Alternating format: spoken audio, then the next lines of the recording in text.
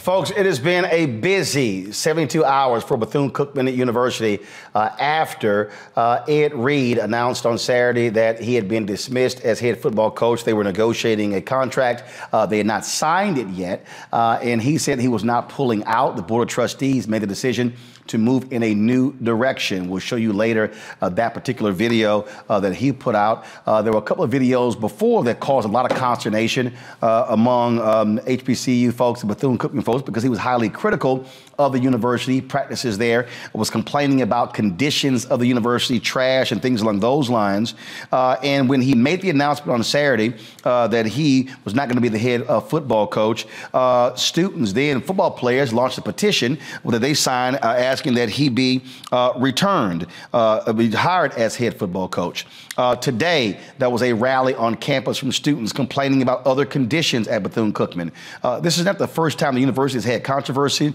Uh, they uh, had significant financial issues, almost lost their accreditation, and many have said that the problem there is its board of trustees. alumni are engaged in a lawsuit with the board of trustees. It's a lot of things that are going on there. And so, what is the current state of Bethune Cookman. Um, what is the administration saying about what took place with today's protest? Joining us right now is the interim president of Bethune Cookman, Dr. Lawrence Drake. Dr. Drake, glad to have you here on Roland Martin Unfiltered.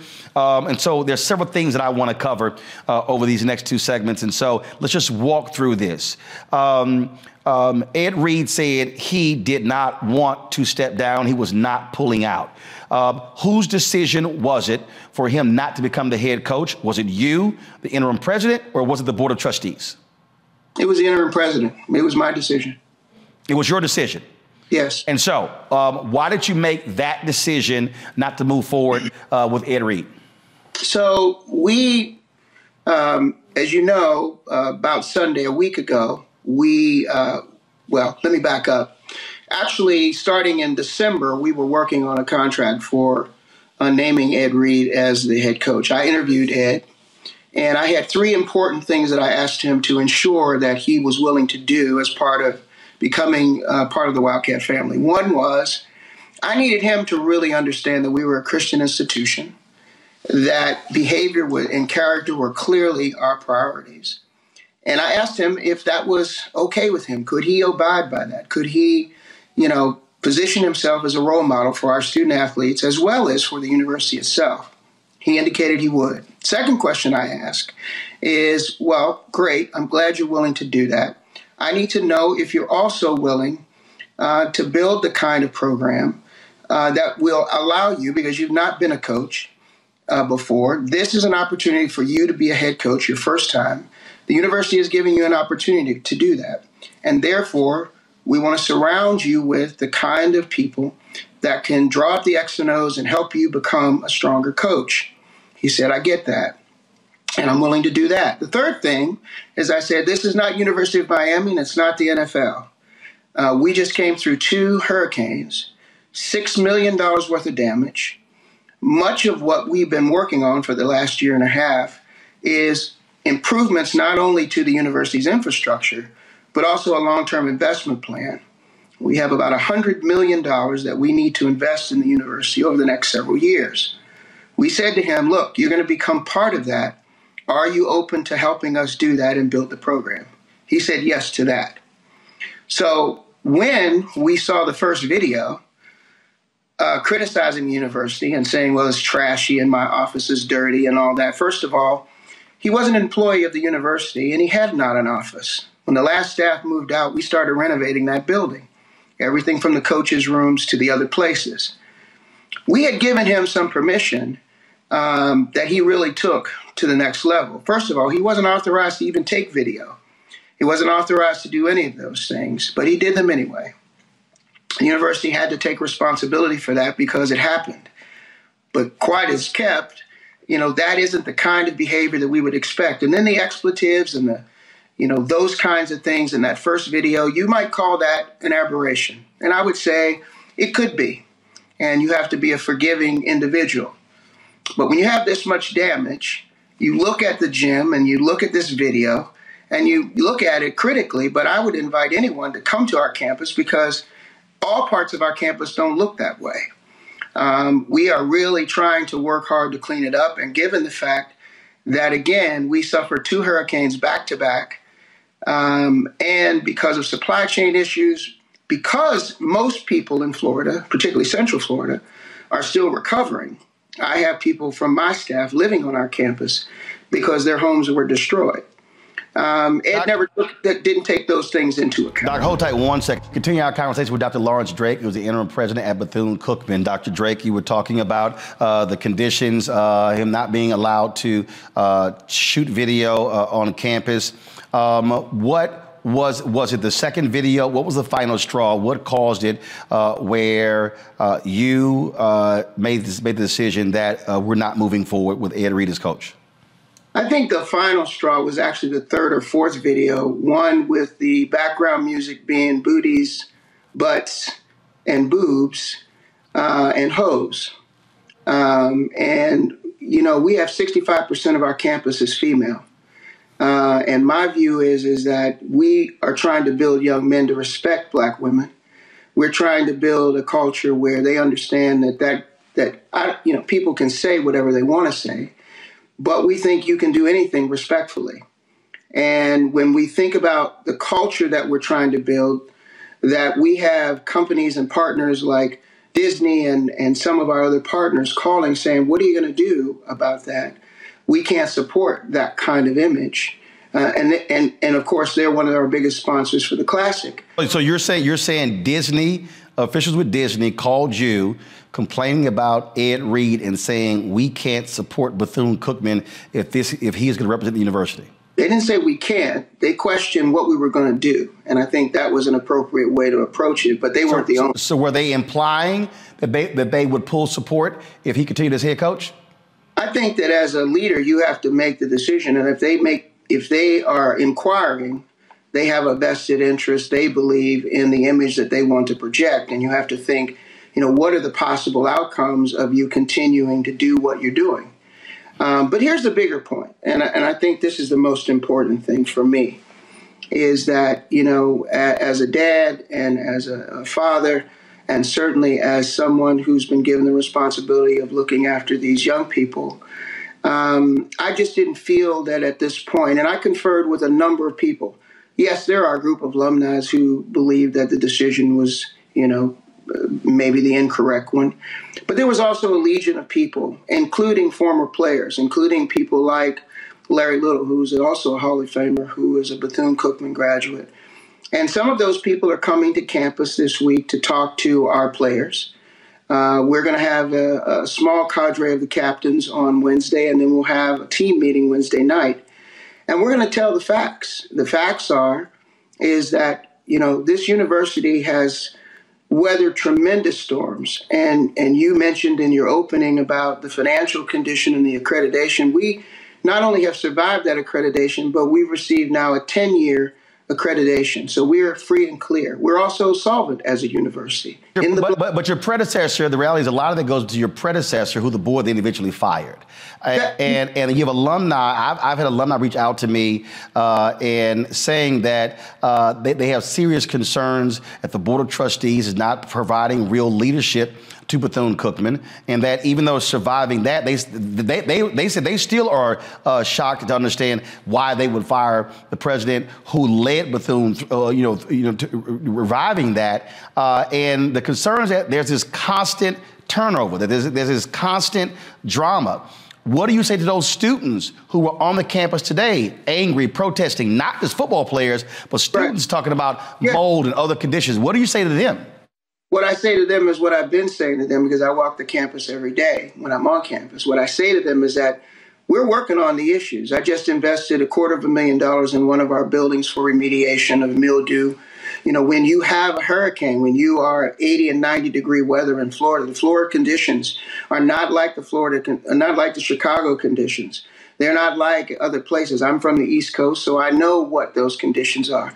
That's mildew. That's not necessarily mold, by the way some of that that you're showing on the screen is a function of things sitting in water for a period of time. So they're not showing you everything. Yes, there are some of those kinds of things, but you might also see that those portions of the building may not even be being used. So again, we are working very diligently to clean up a lot of these things. When I, I would I would reflect that the first hurricane, Hurricane Ian, um, we were the first university to evacuate in the state of Florida. Had we not done that, uh, we probably would have had casualties because it was a very violent storm. But what happened was is that we were trying very hard to get those students back to campus within two to three weeks. And we spent an enormous amount of money doing that. Our football players, as an example, were out because we couldn't bring them back to campus. The university just wasn't fit for that at the time. We spent a tremendous amount of resources ensuring that they ate well, that they stayed in the best places, that they were taken care of, they had their tutors on site. The hundred students that are out there today, if you hold up Dr. Bethune's uh, picture and you, you know, you talk about her legacy at her gravesite, the thing to understand is that many of the students, we're trying to teach them what Dr. Mary McLeod Bethune stood for. You see, the fact is she fired Zora Neale Hurston for acting out and not being respectful of the culture that she was trying to build. And at that time, of course, uh, that didn't necessarily go over well with people who love Zora Hurston. But if you are going to start a culture and create a culture of excellence, you got to make decisions. Now, one thing about our students today, I was very proud of them. I don't think there's anything wrong with student activism and expressing your point, and they should. And we're going to continue to talk to them about that. We're going to be meeting with student leaders as well.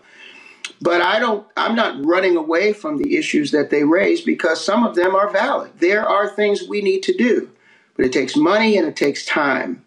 And it's not going to happen overnight. You know, we brought in our largest freshman class this year, uh, the largest one in the history of the university, at least in the last two decades. Over a thousand students joined us in September of last year. We're on track now for another 1,200 students to join us in the fall of 2023. And so while I'm excited about this and while there are challenges, we have to raise about $250 million over the next several years in order to ensure that our campus gets up to date. The fortification, we'll be waiting on FEMA for a lot of the reimbursement for some of those things. But the other part of this is that many of the alumni uh, who complain and who say, you know, they need the Board of Trustees to do more, you know, I can't speak on that. I can only tell you as president um, I haven't I haven't been concerned about the board of trustees. You talk about the turnover of presidents. You know, the fact of the matter is this university is only on its eighth president. That's eight presidents in 118 years. So although there's been some turnover of late, I can't blame a university for wanting to try to find the best person to lead it. The previous predecessor, or the person who I uh, was a successor to, he retired after 42 years with the university. Uh, the person before that, uh, he left the university to go run Bentley University today in Boston, which is where he is. So the fun, the, the, you know, it's important to have all the facts and to have context. It's easy to look at this, you know, from an unbalanced perspective. But what I'm trying to do tonight, and what I will continue to do on other broadcasts and in some of our statements, I'm going to be writing an op-ed about this as well is we need to make sure that the message is balanced because you know social media can distort the message and and give an impression that's really doesn't have all the facts and certainly doesn't have context. Um, I was, I like I said, I was not at all concerned about the behavior of our students today. They acted and behaved tremendously well, and I was very proud of them. What I want them to do, though, is to be able to focus on other activists uh, measures that need to be taken. We're talking about African American studies being banned in the state of Florida. I want them to protest about that. I want them to protest about voting more. Um, I want to teach them the importance of public policy. Uh, I want them to understand that you know you just can't say everything that you want to say, regardless of whether or not you might think it. It may not be appropriate in that venue, and that doesn't mean you have to be neutered or not or inauthentic. But it does mean that you have to understand the audience. We're trying to raise money. We're trying to create a culture where we can grow that university. And we have to have plenty of people to do that. And the people who count, the people who matter, are our students. But we also have to look at the community in which would give to that university to support those students. And we just felt at this point it wasn't a good fit for Ed and I, or Ed and the university, to agree on what kind of conditions he would have to um, come to and help us create and help us grow, he wasn't in agreement with that. He felt that he needed to say his piece and call attention to the challenges as opposed to the opportunities. I can't blame him for that. I don't have anything bad to say about Ed.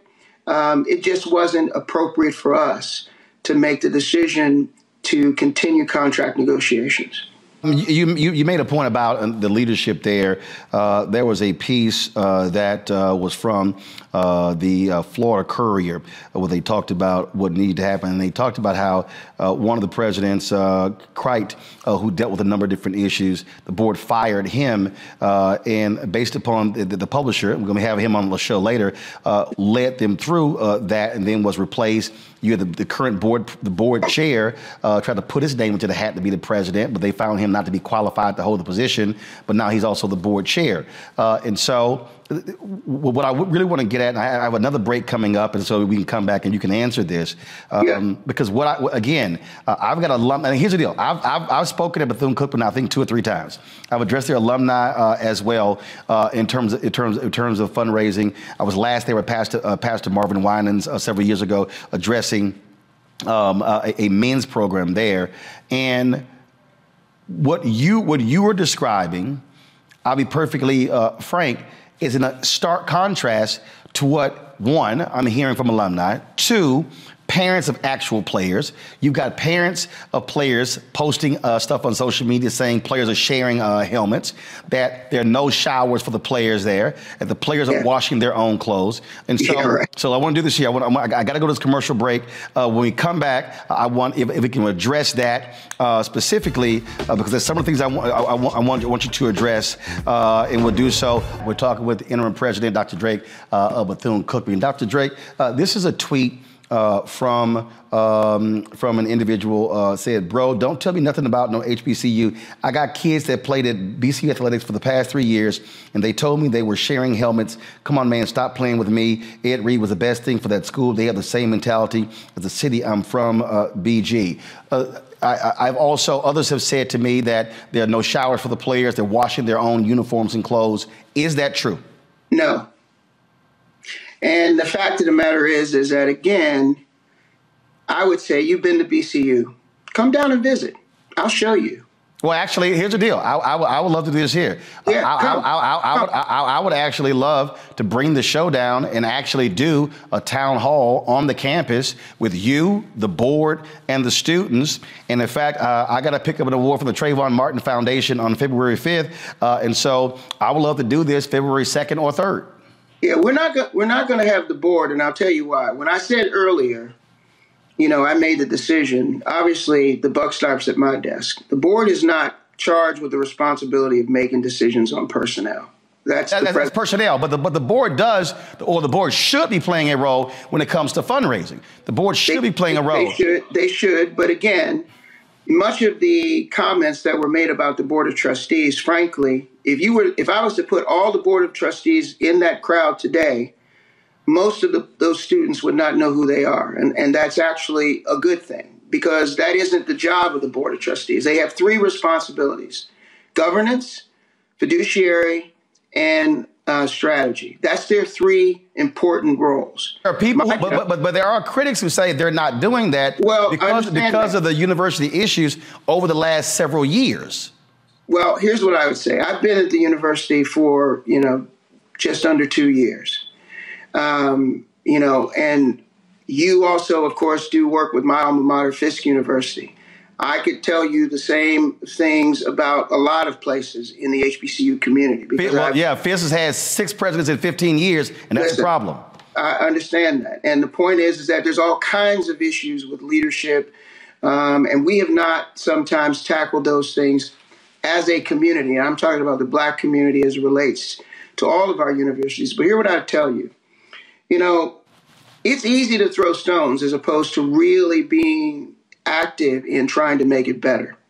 Our university alumni giving, as an example, is extremely low uh, on an annualized basis. So uh, many people, what, what's the percentage? It's less than 1% this year less than 1% this year. If that, okay, so the national average is really around 4 to 5%. We know Claflin is the highest among HBCUs. What, Claflin is 50%. So here's the question.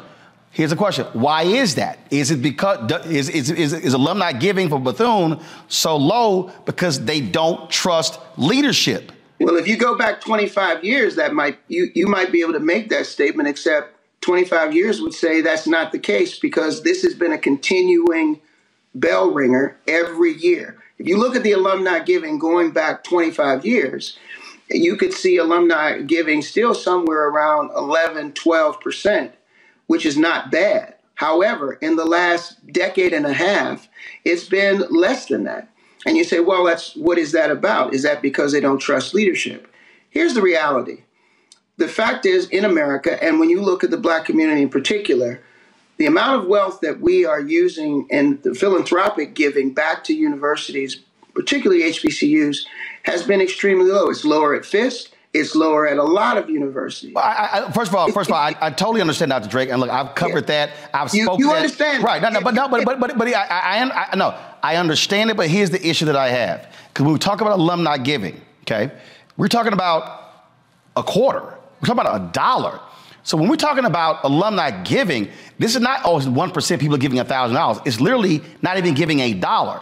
That's the, correct. The, the, the reality is, if it used to be 11 or 12 percent and it's dropped to 1%, there has to be a reason. So has, so has Bethune Cookman asked his alumni, why have you stopped giving? Okay, what's, what's the reason? Let me tell you the reason. The reason is is that when you look at the at the wealth creation of the generation just before us and the one that we're in, the average salaries of most of those people are declining, and their ability to give back has to do with the debt that they're having to amass to go to college in the first. Not even. Here's the deal. I get it, but I, have heard that from many different people. Well, the numbers, the numbers are true, and I can show you the numbers, you know, but, every way but Sunday. But we're talking about, and again, I get that, but and I get that part. But Dr. Drake, I, you, I, I just you can't leave out the reality that when Bethune was going through its accreditation issues, its financial issues, I mean, the university was a mess.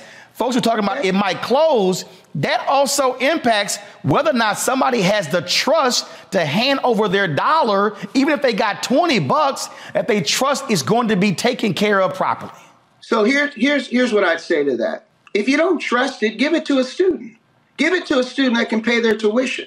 Make it an unrestricted fund that the university doesn't touch it. It's a pass through. If you really believe that, that's what you would do.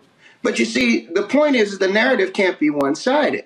It can't be that you know, it's all about the university's leadership.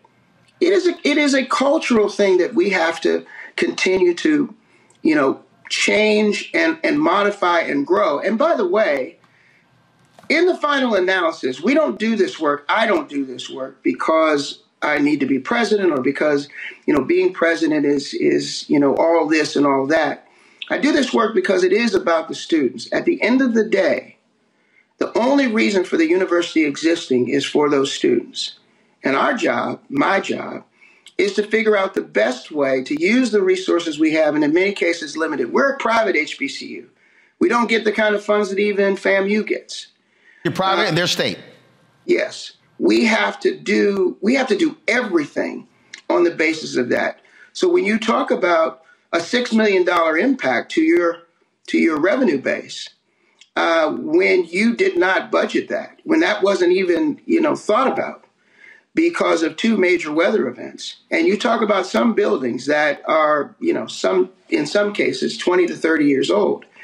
And then you have soil erosion that happens as a result of a massive weather event that you didn't anticipate. Those are not things that the students would consider, and I, I can't say I blame them because they don't know. It's not the context in which they operate. So, so what? So what are you? So here's the question: uh, how often are you sharing the information with the students? How often are you talking to them, bringing them along so they actually understand that? That's first. Second of all, when it comes to your university budget, how much of your budget is dependent upon the financial aid of students? 80, 85, 90%? What is it? Well, first of all, uh, you asked really three questions, not two. So let me give you the first answer. The first question, the first question I think you asked was, you know, how often do we talk to students? Uh, we have a, a, an SGA, we have a student government. Um, I meet with that student government as often as I can. But most importantly, we have a number of venues in which we talk to students about what's going on.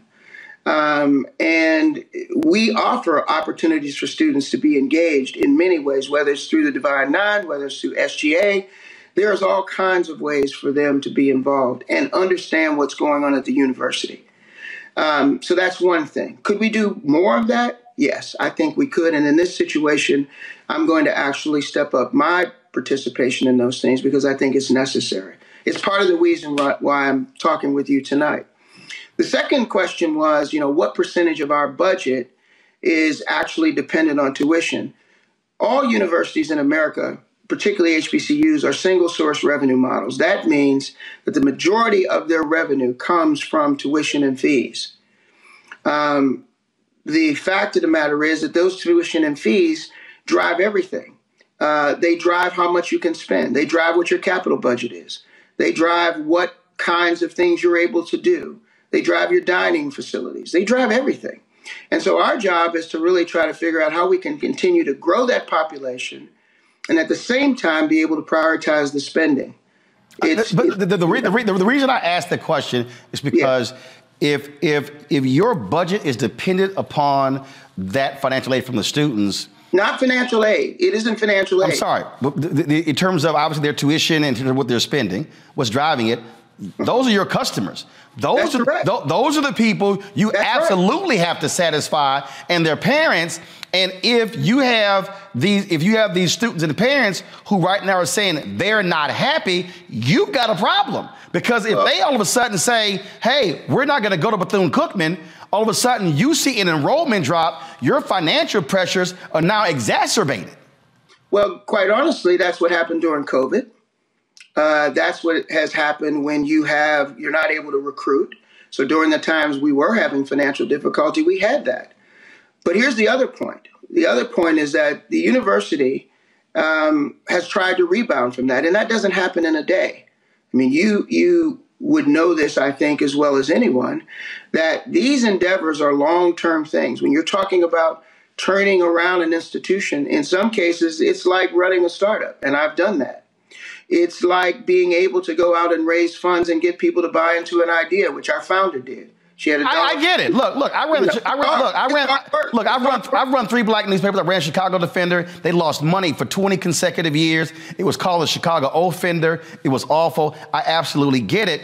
But the one thing though that I that, that I do understand why, because we had made a profit my second year by 100 grand and 400 grand my third year, is that stable leadership laying out vision, communicating strategy, and then executing was a part of that. And again, I think what's really happening here, and I'll give you the final minute to, uh, to respond to this, is that, and again, I am hearing it. We're going to hear from these folks in a little bit. You have got people who are alumni and students who are upset. I understand there's a lawsuit against uh, your alumni association.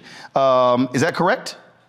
Well, we're in litigation with not our alumni because that alumni association doesn't exist anymore. We have an alumni. Hold on, hold on. What, hap- what, what, what happened to the alumni association? Well, first of all, the university decided it was going to go to a different model in terms of its alumni structure, which meant that instead of having chapters, we were going to have you be able to give directly to the university because our chapters weren't raising any money in the old structure.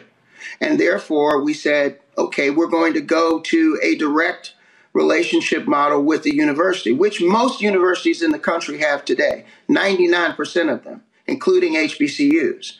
So we changed our model but what happened is, is that we got into litigation as they started to use some of the trademarks and seals of the university without our permission once it was no longer authorized to do so.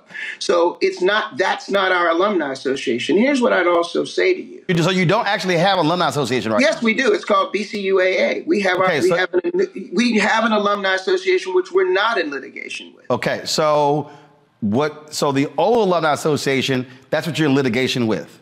That's correct. And when and did the drop take place, you said they weren't raising money before. Are you raising more money now than you Yes, before? we are. Yes, we are.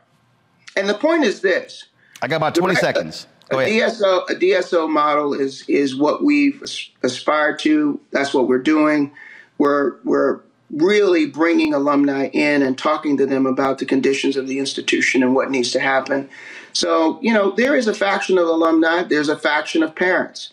But I can tell you this when we evacuated that university and we made sure that every student got home safe. And we had 32 students from international that we had to, you know, put uh, in shelter and keep take care of them for until we were able to get them back to campus. The number of letters and calls that I got about thank you for taking care of my kids, thank you for looking after me. I could only get to campus on the weekend. You you made the announcement soon enough. We don't hear those stories, and there's a lot of those as well. All right, Dr. Drake, uh, we really appreciate you joining us. Uh, again, uh, I am more than willing to bring our show to the campus uh, to do a town hall with you and the students, an alumni. Uh, like I say, I got to be in Florida next week, so you tell me whether uh, next Thursday or Friday works. One of those works, we'll do it. I appreciate it, man. I'm looking forward to it. Okay, my producer, we waiting to hear from you. Appreciate it. Thanks All a lot. All right. Thank you. All right, folks, back to our Roland Martin Unfiltered video in just one moment. When you talk about blackness and what happens in black culture, we're about covering these things that matter to us, uh, speaking to our issues and concerns. This is a genuine people-powered movement. There's a lot of stuff that we're not getting. You get it, and you spread the word. We wish to plead our own cause too long have others spoken for us. We cannot tell our own story if we can't pay for it. This is about uh, covering us. Invest in black owned media. Your dollars matter. We don't have to keep asking them to cover our stuff. So please support us in what we do, folks. We want to hit 2,000 people, $50 this month, raise $100,000. We're behind 100,000, so we want to hit that. Y'all money makes this possible. Check some money orders. Go to PO Box 57196, Washington, D.C. 20037-0196. The Cash App is dollar sign RM Unfiltered. PayPal is R Martin Unfiltered. Venmo is RM Unfiltered. Zelle is Roland at RolandSMartin.com.